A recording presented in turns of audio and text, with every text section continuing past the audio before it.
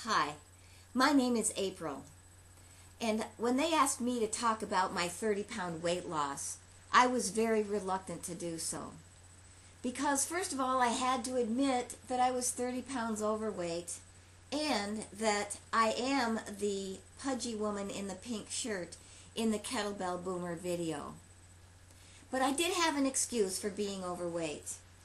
Due to an accident, I had a hip replacement and an ankle reconstruction, so I was out of commission for almost a year. And losing weight when you're over 50 years old is very difficult. My trainer suggested that I start using kettlebells for cardio workouts and keep a log of my activities.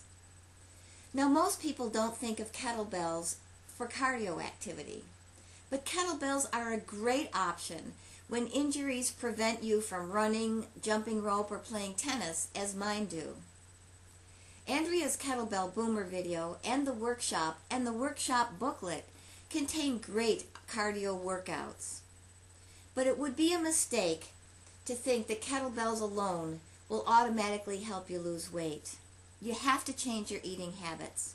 And for me, that meant I had to stop what I call stupid eating.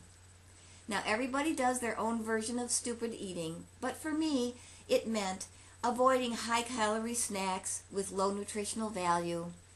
I should stop eating when I am anxious or nervous or lonely or bored or just because the food happens to be in front of me.